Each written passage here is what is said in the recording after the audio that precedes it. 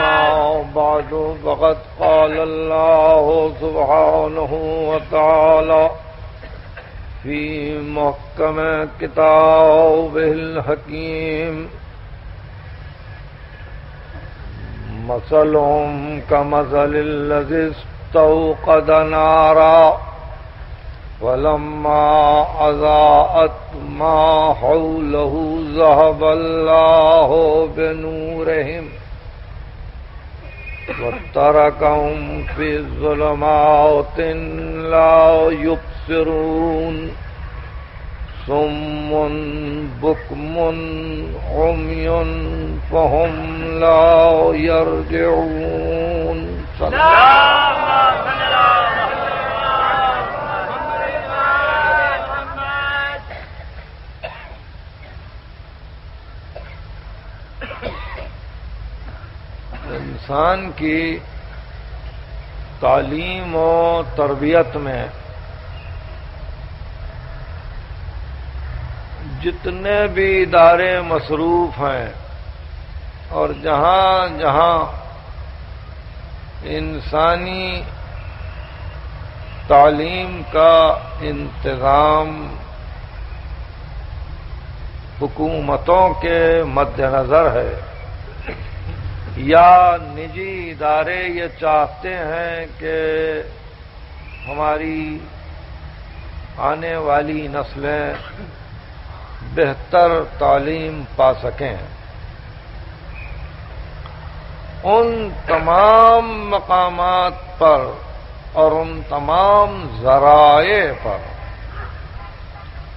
अगर आप एक जाम नज़र डालें तो आपको पता चलेगा कि सबसे कामिल, आला तरीन और नाकाबिल एतराज़। एक ही तरीका है नौ इंसान की तालीम का, कि उसके सामने हमेशा बेहतरीन नमूने इंसानों के पेश किए जाएँ। इससे बेहतर कोई और तरीका नहीं है। उस्ताद बच्चों को तालीम देते हुए अपने आप को एक नमूना बना के पेश करता है। और चाहता है कि उसकी कोताहियाँ, कमजोरियाँ, मजबूरियाँ, जो कुछ भी सही, वो घर की हद तक हो, मगर दौरान तालीम में कोई कोताही सामने न आए, ताकि मिसाल न बिगड़े। बिल्कुल इसी तरह माँ बाप बच्चों की तरबियत करते हुए ये चाहते हैं कि उनके सामने कोई ऐसी गुफ्तगु न हो जो अखलाक से गिरी हुई हो, कोई ऐसा अमल न हो जो बज़ाहिर तरबियत के खिलाफ जाए, कोई ऐसी बात न हो जिससे बच्चे का जहन रहे हक से मुनहरिफ हो जाए इसलिए कोशिश उनकी ये होती है कि बच्चों के सामने अपनी ज़िंदगी को एक मुकम्मल नमूना बनाकर पेश करें।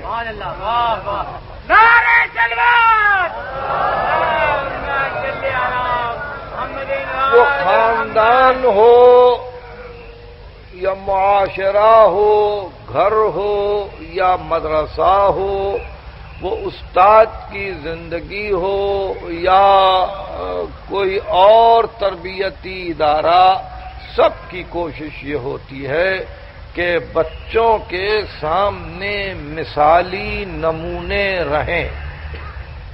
ये हमेशा याद रखिए। और बच्चों की तरबियत और पूरी नौ इंसानी की तरबियत में कोई ज़्यादा फ़र्क नहीं है। इसको जहन से बिल्कुल निकाल दिया जाए कि आठ बरस के बच्चे की तरबियत और साठ बरस के बूढ़े की तरबियत में कोई फ़र्क आपको नज़र आएगा? नहीं है। तालीम की मंजिल पर दोनों एक हैं। दोनों की सूरत एक है। इसलिए जब नौ इंसानी की, तरबियत की, ज़िम्मेदारी। किसी पर सौंप दी जाती है तो वो भी ये चाहते हैं कि हमारी ज़िंदगी एक मिसाली नमूना बन जाए नौ इंसानी के लिए, ताकि हमको देखकर वो सही माना में एक सीधा मुनासिब तरीक़ हयात इस्तेमाल करें। इसलिए कुरान शुरू से लेके आखिर तक किताबुल अमसाल है। यानी इसमें फकत मिसालें ही मिसालें दी गई हैं कि तरबियत पाने वाली नौ इन मिसालों को देखे और इन मिसालों से इबरत ले। इन मिसालों को सामने रखे और उसके बाद ये अंदाज़ा करे कि सही माना में हम किसी गलत रास्ते पर गामजन तो नहीं है, कोई गलत मिसाल तो हमारे सामने नहीं है। ऐसा नहीं कि जाते वाजिब ने एक ही सिंफ को चुन लिया हो कि देखो ये मिसालें अच्छी हैं ऐसा नहीं है बल्कि मिसाल हर तरह की दी गई और कहा कि ये अच्छे हैं ये बुरे हैं ये मुसले हैं ये मुफसिद हैं ये मुत्तकी हैं ये फाजर हैं ये मुस्लिम हैं ये मुशरक हैं ये मुवाहिद हैं ये दहरिये हैं ये मोमिन हैं ये मुनाफिक हैं शुरू से लेके आखिर तक कुरान इंसानियत की तारीख और तबकात की तारीख है कि कोई इंसान देखे और समझे कि कितने नमूने पेश किए गए और समझने वाला अब जिस नमूने के साथ जाएगा, उसी नमूने के साथ मशहूर भी होगा।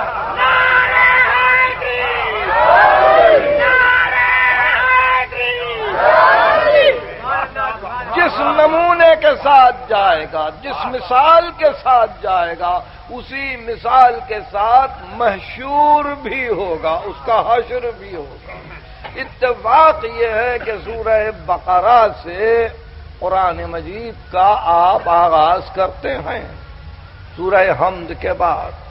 और इब्तदाई आयतों ही में जब इंसानों की तकसीम को बतलाया कि पहले तो वो हैं जो ईमानदार दूसरा वो हिस्सा है इंसान का जो काफिर सवाउन लहिम अंजरतहुम अम लम तुनजिरहुम ला युमिनून।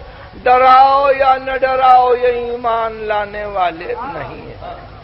तीसरा तबका है, उसके मुतालिक इरशाद हुआ कि इनसे बचने की ज़रूरत है। ये मिसाल हम देते हैं, इनसे बचने की ज़रूरत है, इसलिए कि जब ये साहिबान ईमान के पास आते हैं तो कहते हैं, हम मोमिन हैं। और जब ये अपने भाइयों के पास जाते हैं तो कहते हैं, हम तो इनका मज़ाक उड़ा रहे थे। जब इनसे कहा जाता है कि फसाद न करो तो कहते हैं कि हम तो इसलाह कर रहे हैं। हालाँकि वो मुफसिद हैं। तमाम तफसील इनके किरदार की बतलाई और उसके बाद कहा, मसलहुम, उनकी एक मिसाल। उनकी एक मिसाल है कि जैसे किसी ने आग जलाई हो। नारा। जैसे किसी ने आग जलाई हो, मैं बे इंतहा तवज्जो चाहता हूँ, पहली मरतबा ये गुफ्तगु छिड़ रही है। और इस गुफ्तगु का मंशा ये है कि एक मिसाल को कुरान की आप गौर से सुने और समझें। इनकी मिसाल उस शख्स की है कि जैसे किसी ने आग जलाई हो। कुरान कहता है पलम्मा अजात माहौलहू आग जलाने के बाद, जब अतराफ का हिस्सा रोशन हुआ जहब अल्लाह हो बेनूरे। खुदा ने उस आग को बुझा दिया। फिर अंधेरा हो गया। उसके नूर को ले लिया। उसकी रोशनी को ले लिया। वो तरक युक्सरून और उनको अंधेरों में छोड़ दिया जहाँ कुछ भी नज़र ना आए। जहाँ कुछ भी नज़र ना आए, और उसके बाद तारीफ़ की। अंधे हैं, बहरे हैं, गूँगे हैं, ये लौट कर आने वाले नहीं हैं। मैं इस मिसाल की तरफ़ तवज्जो करना चाहता था कि उन्होंने आग जलाई। आग जलाई और अपने अतराफ को रोशन किया। फलम्मा अजात माहौलहू। यह माहौल कुरान का लफ्ज है। इस बात का ख्याल रहे कि इनका माहौल कैसा है, उनका माहौल कैसा है यह माहौल कुरान से लिया गया है। ये लफ्ज इसलिए हमेशा पेश नज़र है। कि फलम्मा अजात माहौल जब उनका माहौल रोशन हुआ। जहब अल्लाह बेनूर अल्लाह ने उनके नूर को खत्म कर दिया। उनकी उस रोशनी को खत्म कर दिया। तो पूछना यह है कि अगर ये नूर था, अगर ये रोशनी थी, और अगर ये रोशनी तारीकी को मिटाने के लिए थी। तो जात वाजिब ने इनसे उस नूर को छीना क्यों?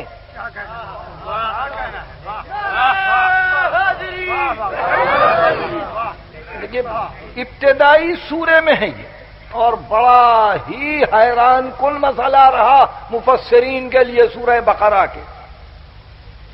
कि उनकी मिसाल ऐसी है कि जैसे किसी ने आग रोशन की, ज़ाहिर है मेहनत की, कोशिश की, सही की, जद्दोजहद की, और उसके बाद आग उसने जलाने की कोशिश में कामयाबी हासिल की, आग जली, माहौल रोशन हुआ, और हम नूर को ले गए। हमने रोशनी को खत्म कर दिया। तो मालिक मेरे, तूने जो रोशनी को खत्म किया। क्या ये भी कोई तरीका तरबियत है? क्या ये भी कोई तरीका तालीम है? क्या ये भी कोई तरीका हिदायत है? वो क्या रोशनी थी जिसको तूने कम किया? वो कैसा नूर था जिसको तूने बुझा दिया एक बड़ी अजीब बात है।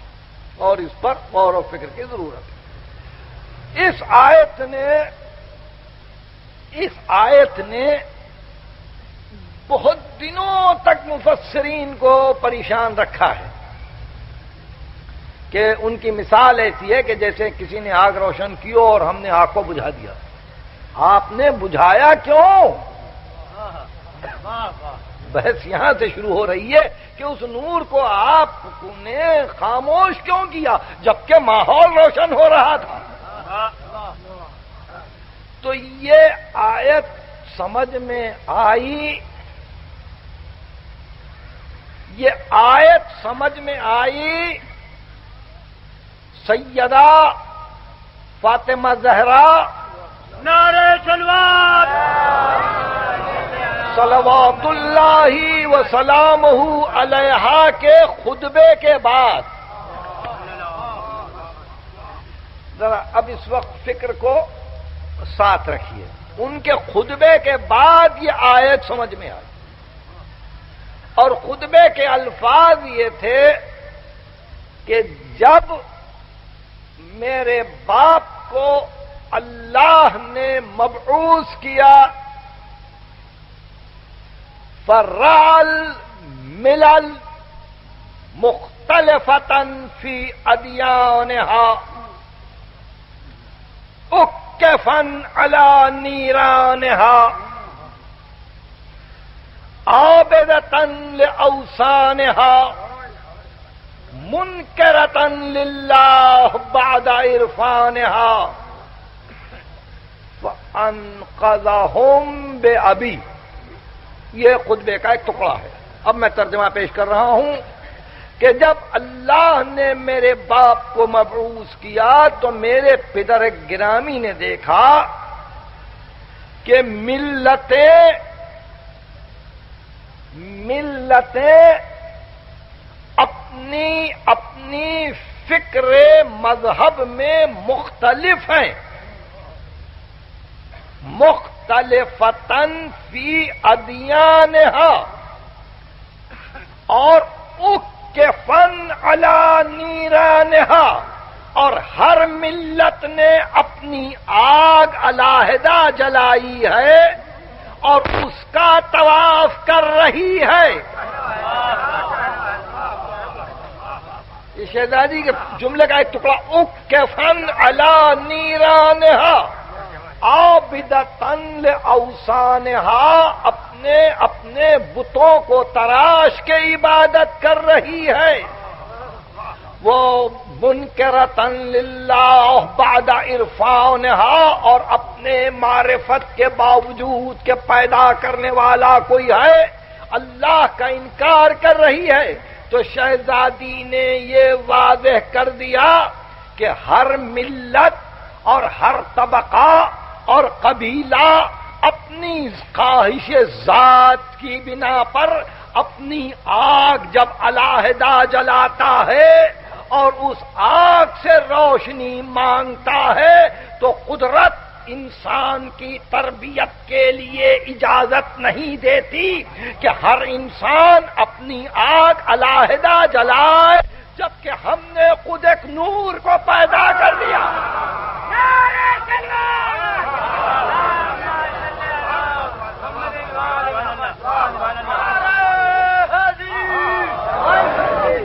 देख हर शख्स अगर अपनी आग को रोशन करे और ये समझे कि मेरा माहौल रोशन हो रहा है तो इजाज़त नहीं है तरबियत इंसान में इस अम्र की कि हर एक अपने लिए अपनी रोशनी को ढूंढे, बल्कि नूर को भेजना, नूर को पैदा करना, नूर को मनार हिदायत बनाना नूर को इंसान का राह पर बनाना ये हमारा काम है। तुम्हारी जलाई हुई आग का काम नहीं है कि तुम अपनी अपनी आग जलाओ, अपने अपने आतश कदे रोशन करो। नतीजा ये होगा कि हम जब चाहेंगे, उस आग को बुझा देंगे, ताकि तुमको ये मालूम होगा कि ये आग जलती है इसीलिए। इसीलिए कि वो उनके ख्वाहिश की आग है, उनकी नफ्स परस्ती की आग है, उनके हवस की आग है, उनके तमा की आग है उनके हसद की आग है। इसको वो जला रहे हैं और जला के अपनी आग में अपने माहौल को देख रहे हैं। तो नतीजा ये है, जिस किस्म की रोशनी में देखेंगे, वैसे ही लोग नज़र आएँगे। अगर जर्द निगाहों वाला देखे तो हर शय जर्द नज़र आए।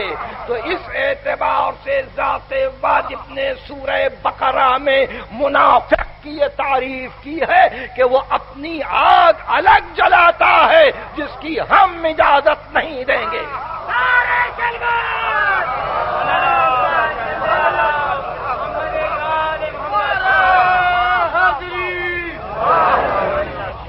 अब आपने देखा अजीब इरशाद शहजादी का कि फर्रल मिलल मुख्तलिफतन फ़ी अदियान हाओ उक्फन अलाओ नीरान हाओ औबिदतन ले औसान हाओ मुनकरतन लिल्लाह बाद इरफान हा कितना जामे जुमला है कि हर कौम को मेरे बाप ने देखा कि वो अपनी आग अलाहदा जलाए हुए है। तो इस्लाम तरबियत हकीकी के मौके पर इस अम्र की इजाज़त नहीं देता कि अल्लाह ही का नाम लेकर तुम सिमत बंदगी बदल डालो।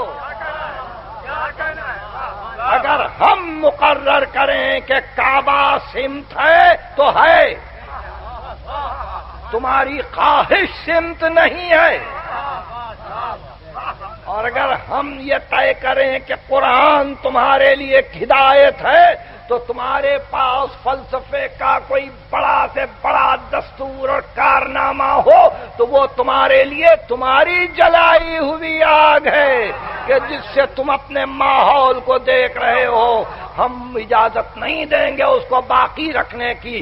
कुछ दिनों के बाद ये रोशनी खत्म हो जाएगी। अब अगर आप कुछ समझ सके तो पता चलेगा कि कुरान मजीद मिसाल देता है। मिसाल देता है ताकि इंसान तरबियत पाए। और नौ इंसान की खसूसियत यह है कि वो मदनी तबाह है, मिलजुल कर जीती है। तो इस मिलजुल कर जीने के लिए ही ये लाजिम है कि उनके लिए मिली जुली तरबियत का निसाब हो। और उसके लिए ये लाजिम है कि उनके लिए एक वहदत अफकार हो। उनके लिए लाजिम है कि वहदत किरदार हो। उनको इस अम्र की इजाज़त नहीं दी जाती। कि वो अल्लाह का नाम लेकर, अल्लाह का नाम लेकर बंदगी ही की खातिर मदीने में, रसूल की मौजूदगी में एक और मस्जिद बनाए। उन मस्जिद है, अल्लाह का घर है, आतश कदा नहीं है, बुत कदा नहीं है, उन्होंने बुत नहीं तराशे थे। उन्होंने कहा था, हम तो मस्जिद बना रहे हैं। दूर तक कैसे जाएँ नमाज़ के लिए? हम अपने महल्ले ही में बना लेते हैं। हुक्म ला तकुम फ़ी है अबदा। खबरदार वहाँ जाके खड़े भी न होना। वहाँ जाके खड़े भी न होना इसलिए कि यह मस्जिद मस्जिद जरार है, जरार पहुँचाने वाली। कुफरन वो तफरीकन, ये कुफर की मस्जिद है। इफ्तराक पैदा करने वाली मस्जिद है। इरसादन मन हारब अल्लाह व रसूल और अल्लाह से जो लड़ने का ऐलान करे, उसके लिए यह मस्जिद पनाहगाह है। यह मस्जिद पनाहगाह है। खबरदार उसमें न जाना। तो देखा, अल्लाह ही के नाम से, अगर अल्लाह ही के नाम से घर बने तो अय हबीब उसमें न जाना। ल मस्जिद उससे तकवा मिन अव्वल यौमिन अहक अंतकूमफी इसलिए कि जो पहले दिन तकवा की बिना पर मस्जिद तैयार कर ली गई वो बेहतर है इससे कि कहीं और जाकर तू खड़ा हो। मैं एक ही बात की फिर वजाहत कर दूँ यानी इबादत के लिए भी इफ्तराक की इजाज़त नहीं। इबादत के लिए भी एक राह को अलग करने की इजाज़त नहीं। और अगर ये बात समझ में आ जाए तो फिर अंदाज़ा करेंगे आप कि चंद नमूने आपके सामने हमेशा हर दौर में लाजिम करार दिए गए कि इन नमूनों को देखो और अपनी हयात को दुरुस्त करो। मेरी तमहीद खत्म हुई। तमहीद खत्म हुई।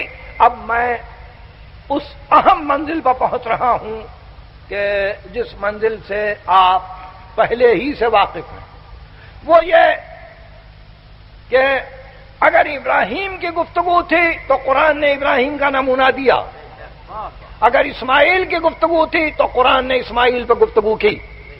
अगर इसहाक व याकूब की ज़रूरत थी तो कुरान ने इसहाक व याकूब पर गुफ्तगु की। अगर सुलेमान और दाऊद के मुतालिक इर्शाद मंजूर था तो कुरान ने सुलेमान और दाऊद के मुतालिक मुख्तलिफ़ मकाम पर उनकी तोसीफ की। यहाँ तक के जमाना खातम का आया। और इसके बाद खातम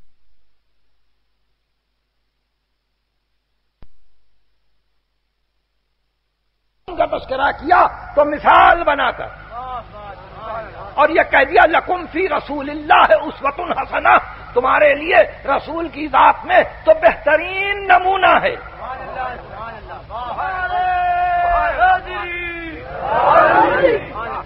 आप तवज्जो से सुन रहे लकुम फ़ी रसूल उस वतुन हसना। तुम्हारे लिए रसूल की जात में बेहतरीन नमूना है। यानी नमूने के बगैर हम दुरुस्त नहीं होते। बहुत अच्छी तरह से आप ये याद रखिए। एक मुख्तसर सी मजलिस सही, एक मुख्तसर सा ज़िक्र सही। मगर मैं हमेशा जब बहस छिड़ जाती है तो मैं चाहता हूँ कि सुनने वाले शेर होकर सुने और मुतमिन होकर समझ लें कि गुफ्तगु क्या है। क्या इससे पहले ये नहीं कहा गया? और क्या दुनिया के बड़े बड़े अखबारात में ऐसे बच्चों की तस्वीरें नहीं छपी? कि जिनको पैदा होने के बाद माँ बाप की गोद से खींचकर जब दरिंदों में डाल दिया गया तो फिर वो बच्चे माँ बाप की जबान भी बोल न सके। नहीं, वो पानी फिर अपने आप को बुलंद करके खड़े होकर न पी सके, बल्कि जानवर जिस तरह से पानी पीता है, झुककर घुटनों के बल उस तरह से वो चश्मे पर पानी पीते हुए पाए गए। और उन्होंने जो आवाज़ें अख्तियार की, वो जानवरों की आवाज़ें थीं। और जानवर उनकी आवाज़ को समझ गए। इंसान का बच्चा था। इंसान का बच्चा था। हैवानों की तरबियत में हैवान हुआ। तो बिल्कुल इसी तरह हमारा बच्चा हमारे पास जब पलता है तो माँ को देखकर, बाप को देखकर चलता है। माँ बाप को देखकर खाता पीता है। माँ बाप को देखकर बोलना शुरू करता है। माँ बाप को देखकर अदब हासिल करता है। माँ बाप को देखकर दीन हासिल करता है। माँ बाप को देखकर मज़हब पे चलता है। माँ बाप को देखकर उनकी तरह से रसूम मजहबी को अदा करता है, ये है नक्काली। इंसान फितरतन नक्काल है यह फितरत इंसानी का पहला सबक है। इंसान फितरतन नक्काल तो ज़ाहिर है कि कुदरत फितरत इंसानी को जानते हुए, अगर इंसान के सामने नमूने न रखे तो क्या हो क्या हो? इसलिए कि अगर इंसान अकल की मंजिल पर आए और अपने माँ बाप को भी बहका हुआ पाए तो वो नमूना काम आए। ताकि वो अकल वाला इंसान कयामत में हुज्जत न पेश करे, मेरा घर तो ऐसा था। तो जाते वाजिब ये कह सके, नमूने तो ऐसे थे। इस मंजिल पर पहुंचकर शायद ये वजाहत अब आपके लिए काफ़ी है कि खत्मी मरतबत तक तो कुरान ने गुफ्तगु की। खत्मी मरतबत तक तो कुरान ने गुफ्तगु की नमूनों की। और कहा कि ये मिसालें हैं, ये मिसालें हैं, और कुरान किताबुल अमसाल है। जगह जगह मिसालें दी गई हैं। और उन मिसालों पर गुफ्तगु करने के लिए कई दिन चाहिए। अगर सिर्फ़ कुरान मजीद से उन आयतों को चुन लिया जाए, जिसमें मिसाल का लफ्ज आया। है तो मैं समझता हूँ कि तमहीद के तौर पर यह बात वाजे हो गई कि हमारे लिए तरबियत के वास्ते मिसाल चाहिए। अंबिया की गुफ्तगु थी, आदम से लेके खातम तक नाम ले लिए। खातम का जमाना गुजर गया। अब मिसाल क्या है? अब मिसाल क्या है? यही वो एक मसला है कि जिस मसले को समझ जाने की वजह से आप अपने को मुमताज़ समझते हैं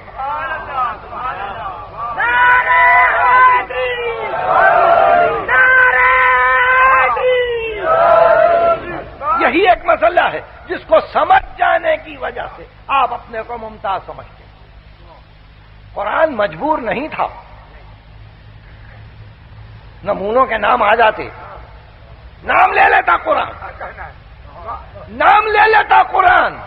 कि अब इसके बाद ये नमूने हैं। इब्राहिम तक तो लिया था नाम। इब्राहिम तक तो लिया था नाम। और उसके बाद ये आयत कि इन अल्लाहबुल्लजीन युकातिलून फ़ी सफ़न बुनियान मरसूस। कि अल्लाह दो सकता है उन लोगों को जो सब बाँध के लड़ते हैं और इस तरह से लौटते हैं कि जैसे कोई दीवार खड़ी हुई हो जिसकी बुनियाद में शीशा पिघला कर डाल दिया गया हो। अब सिफत बयान की, नाम लेता तो क्या अमर माने था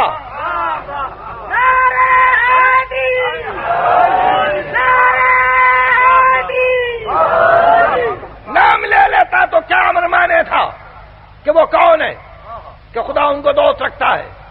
नाम लेता तो क्या अमर माने था जो सिर्फ़ तारीफ़ कर दी? वो यू तैमून आला हुब ही वो यतीमम वो असीरा।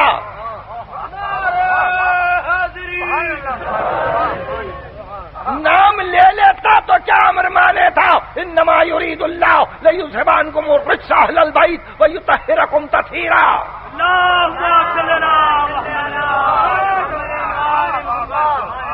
वही आई थी। मगर इसके बाद फिर हिदायत के लिए आपके पास कोई किताब न रहती। आप मेरे इशारे को समझ गए?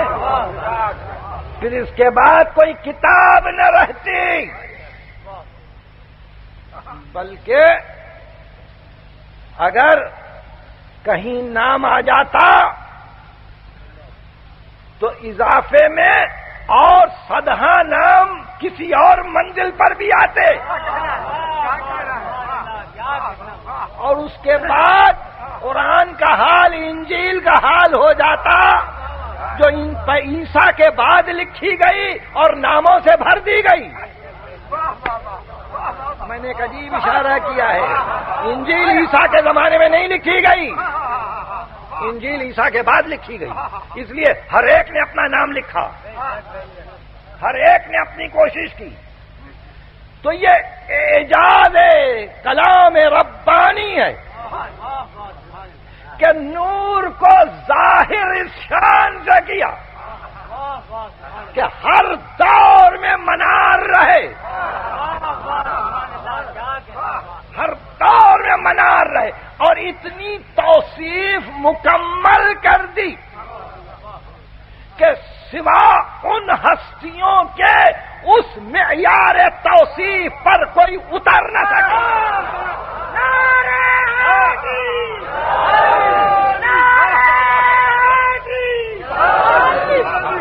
इस तरह से तौसीफ मुकम्मल कर दी कि उस मैार पर कोई उतर न सके। और उसके बाद मिसाल कायम कर दी। नाम नहीं लिया। नाम नहीं लिया। एक शुभ है बाद हलकों में कि अगर वाकई ये इतनी अहम हस्तियाँ हैं तो कुरान ने नाम क्यों नहीं लिया? एक शुभ है बाद हलकों में कि अगर ये ऐसी ही मुमताज़ हस्तियाँ हैं तो कुरान ने तस्करा क्यों नहीं किया क्या कुरान मजबूर था? नहीं, कुरान मजबूर नहीं था। यह सच है कि कुरान ने नाम नहीं लिया। मगर कुरान ने जब आयत नाजिल की तो क्या आप लोगों ने कोई नाम ला के रखा? अबना आना निशा आना अनफुसना की मंजिल पर आयत मौजूद है कि हम बुलाओ अपने बेटों को बुलाओ अपने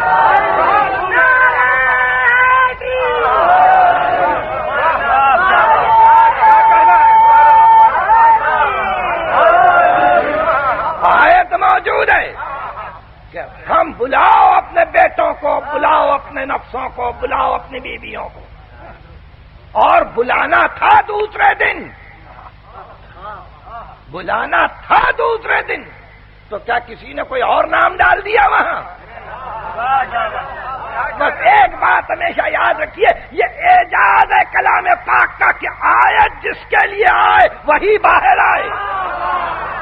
नारे सलवार।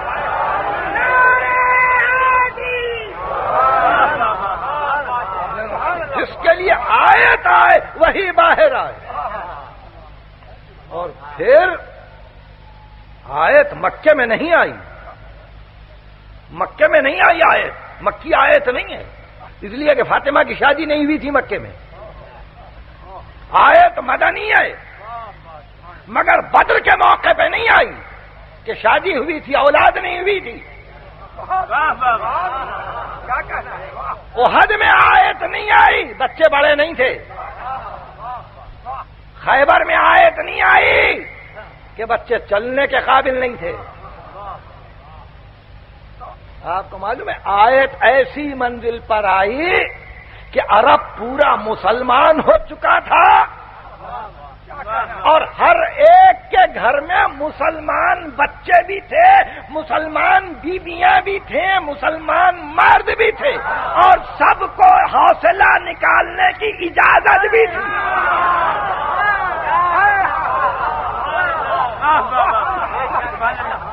हौसला निकालने की सबको इजाज़त भी थी कि लाओ। आप एक अजीब फ़र्क पाएँगे। अल्लाह शिबली नौमानी ने सीरत नबी में लिखा कि जब पैगंबर ने कहा, कल मैं अलम मर्द को दूँगा तो कुब्बारे सहाबा रात भर इसी ख्वाहिश में जाग कर गुजार रहे थे कि शायद वो अता हमको मैसर हो यह खैबर की मंजिल। मगर मुबाहला में किसी ने यह तमन्ना भी नहीं की।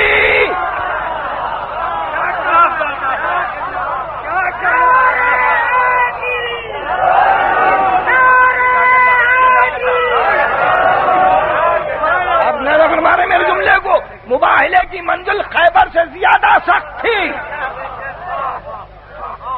सामने राहबों का तकदस सामने नसारा की वो रोहबानियत और रोहबानियत का वो असर गालिब था कि कहीं अगर बदुआ कर दे तो उनका नफस गर्म कहीं हमको तबाह न कर दे। इतने दिन के इस्लाम के बाद भी तलवारों से न डरने वाले नफस गर्म से डर गए।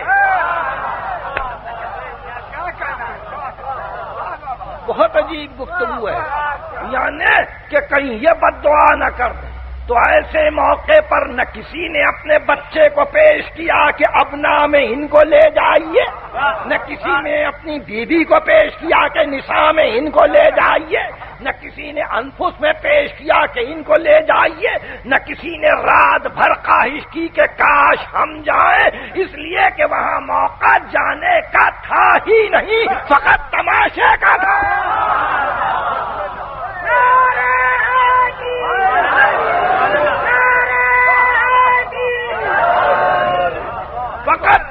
तमाशा मंजूर था के देखे कौन निकलता है? एक अजीब बात है, ताज कंपनी लिमिटेड के जितने कुरान मुफत तफसीरों के साथ छाया हुए हैं सबका हाशिया देख डालिए। शाह अब्दुल कादिर दहलवी, शाह अब्दुल अज़ीज़ दहलवी, शेखुल इस्लाम मौलाना अशरफ अली थानवी सारे तर्जमे देख डालिए। सबों ने तर्जमे को रोक रोक के आए मुबाहिला के पर हाशिया दिया। और कल सुबह हुई तो बेटी का हाथ थामा, दो नवासों को लिया, भाई को लेके आ गए। आयत एक दिन पहले आई, यानी किसी मुफसर ने एतराज़ नहीं किया। किसी मुफसर ने शुभ नहीं किया कि शायद वो भी गए हो। किसी मुफसर ने यह नहीं कहा कि वो बच्चा भी गया था। किसी मुफसर ने यह नहीं कहा, वो बीबी भी गई थी, न बीबियों में कमी थी, न बच्चों में कमी थी, न अनफुस में कमी थी। मगर आपको मालूम है, जब नमूना कायम करना होता है,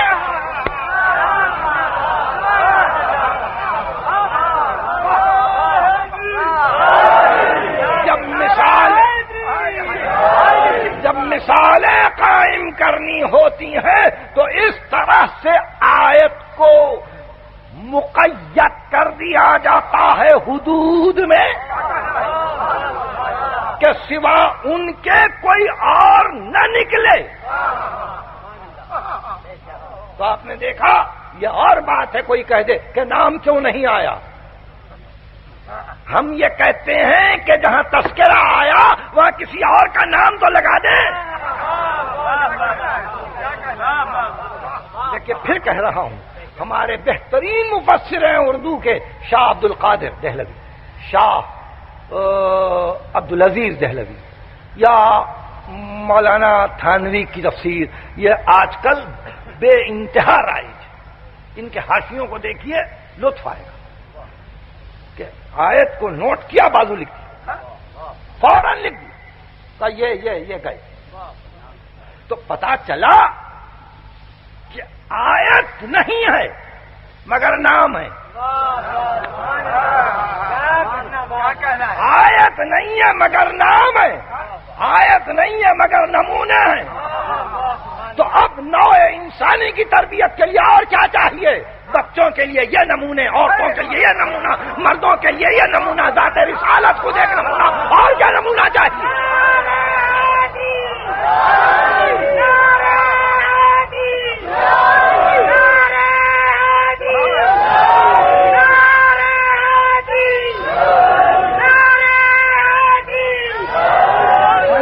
दी और ज़ाहिर है कि मैंने अपना वक्त लिया है।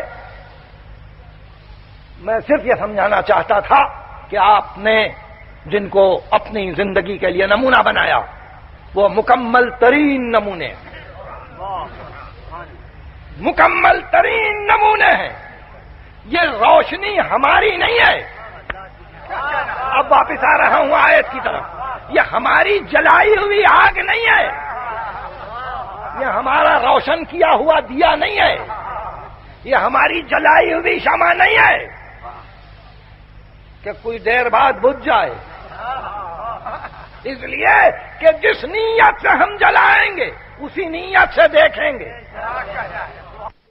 जिस रंग की रोशनी होगी, उसी रंग से सब नज़र आएँगे। इसलिए हमको इख्तियार नहीं है। नूर को नूर को अपने से मंसूब रखने का इख्तियार हमको नहीं है। नूर उसी का है।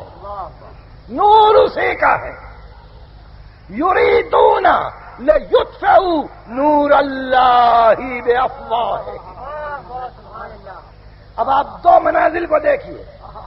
वहाँ उसने क्या किया था? वह उसने आग जलाई। फलम्मा अजा आत्मा हौलहू साहब अल्लाह हो बेनूर अल्लाह ने आग को बुझा दिया। और यहाँ इशाद होता है कि ये लोग चाहते हैं कि हमारे नूर को फूक के बुझा दें। हम तो बुझा देंगे उनकी आग। कुरान है और समझने की कोशिश कीजिए यह सूरह सफ की आयत है। सूरह सब कुरान मजीद का साठवां सूर्य इकसठवां सूरा है। इर्शाद होता है कि ये इरादा करते हैं कि अल्लाह के नूर को फूंक के बुझा दें। ऐसा नहीं होगा। वो नूर तो इतमाम पे जाएगा। वो नूर तो इतमाम पे जाएगा, किसी की मजाल नहीं है जो उसको बुझा दे। और हम सबके चराग बुझाएँगे। हम बुझाएँगे। वलम्मा अजात मा हौलहू जहाब अल्लाह हो। बेनूर वो तरह कहूँ थी जुलमातिन लायुबसरून उनको अंधेरों में छोड़ देंगे। जहाँ नज़र नहीं आएगा, फकत यही नहीं, बल्कि ये कह के छोड़ेंगे अंधे हो, बहरे हो, गूँगे हो, तुम्हारे लिए वापस आना ही नहीं है। हक की तरफ़ आना ही नहीं है। तो नूर हक में और बंदों के जलाए हुए चराग में इतना फ़र्क है। इतना फ़र्क है अल्लाह का नूर जब रोशन होता है तो उसकी रोशनी उसकी रोशनी इस तफसील की तालब नहीं है कि कहाँ कहाँ ज़िक्र है। अल्लाह के नूर की रोशनी इस बात की कहाँ नहीं है कि कोई ये दरियाफ्त करे कि कहाँ कहाँ इसका नाम लिया गया। कहाँ कहाँ नाम लिया गया? ज़रूरत नहीं है। मैं क्या? हालाँकि कल फिर मेरी दो तकरीरें हैं, सुबह भी और शाम भी, लेकिन एक जुमले को आज कह दूँ और कल फिर अपनी गुफ्तगु में जो कुछ होगा आज करूँगा कि यह सच है कि कुरान ने हुसैन का नाम नहीं लिया। कुरान ने हुसैन का नाम नहीं दिया। मगर कोई मंजिल ऐसी भी है कि जब हुसैन की तारीफ़ कुरान ने की। और तारीफ़ इस शान से की, इस शान से की कि उलमा ने उस सूर्य को सूरतुल हुसैन कह दिया।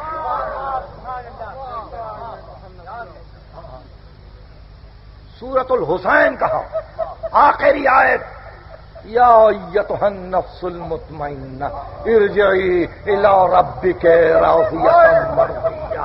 फतखुली फ़ी वतखुली जन्नती। खिताब होगा कि अय साहिब नफ्स मुतमइन्ना नफ्स मुतमइन्ना कहकर करोड़ों की दुनिया में से एक को चुन नफ्स मुतमइन्ना कहकर करोड़ों की दुनिया में से एक को चुने और कहा यह है नफ्स मुतमइन्ना इनके जद ने कहा था, इन्नी जाहिबुन इला रब्बी सयहदीनी, मैं अपने रब की तरफ़ जा रहा हूँ। इनके जद ने कहा था, मैं अपने रब की तरफ़ जा रहा हूँ, वो मेरी हिदायत करेगा। रब्बी हबली मिन सालहीन, परवरदिगार मुझे एक बेटा अता कर। इब्राहिम वहाँ दुआ करते हैं कि मैं जा रहा हूँ। यहाँ हुक्म हो रहा है कि आओ। आओ, मेरे पास आ जाओ। मेरे बंदे मेरे पास आ जाओ। और फिर, देखिए ये मंजिल है कि जहाँ दो चार दकीके और। इर्जई वापिस आ जा ए नफ्स मुतमइन्ना रिजा और रगबत के साथ। राजियतम मर्जिया। और फिर फतखुली फ़ी इबादी। मेरे इबाद में दाखिल हो जाओ। अब कहाँ है इतना वक्त कि मैं कुरान से पूरी उन आयतों को पढ़ूं कि किस किस को खुदा ने आब्द कहा है? अयूब को कहा नेमल आब्द इब्राहिम को कहा कि बेहतरीन बंदा था मेरा। यूसुफ को कहा कि बेहतरीन बंदा था। नूह को कहा बेहतरीन बंदा था। और फिर उसके बंदे सालेह बंदे होते हैं। लखत का तबना फिर जबूर बिन बाद ज़िक्र। अन्नल अर्द यरी इबादिया सोलहून हमने जबूर में ज़िक्र के बाद लिख दिया कि हमारी ज़मीन के वारिस हमारे साले बंदे होंगे आओ हमारे बंदों में आ जाओ रिजा और रगबत के साथ आओ है आपके पास कोई नमूना जो इस रिजा और रगबत के साथ जान दे इस रिजा और रगबत के साथ जान दे मौत के लम्हात आपने भी देखे होंगे। तारीख ने भी मौत के लम्हात देखे। हर एक की मौत। जहाँ मौत आए, वहाँ बस यही। ये घर है, ये ज़मीन है, ये बच्चे हैं। ये मेरी आमदनी थी, जिसको मैंने यहाँ तक जमा किया। इसको इस तरह से तकसीम होना चाहिए। यानी जाना उधर है, निगाहें इधर लगी हुई हैं। फिर राजियतम मर्जिया कैसे हो? आपने देखा, राजियतम मर्जिया कैसे हो रिदाय रब कैसे हो? और यही वजह है। यही वजह है कि जब बेख्तियार चले। तो एक ही जुमला का और कहा, जैनब, अब ये घर तुम्हारे हवाले।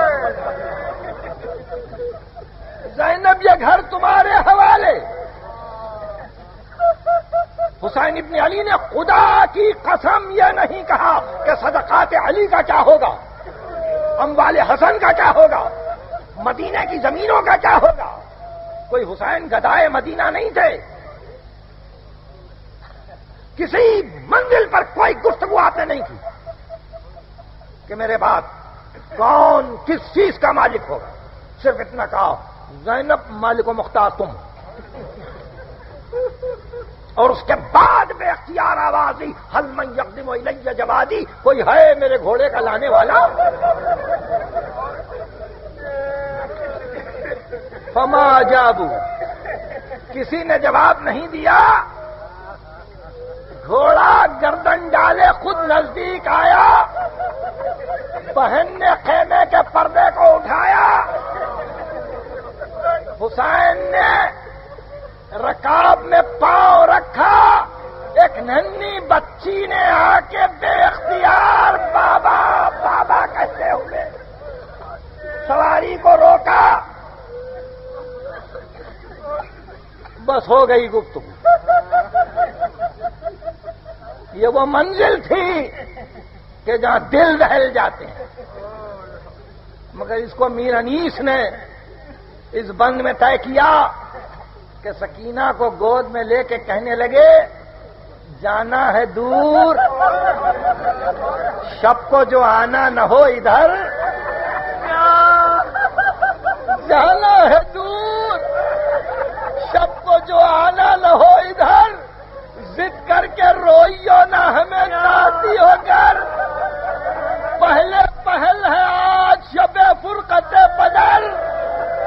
सो रही हो माँ की छाती पा गुर्बत में रख के सर। राहत के दिन गुजर गए, ये फ़सल और है। अब यूँ बसर करो जो यतीमों का दौर।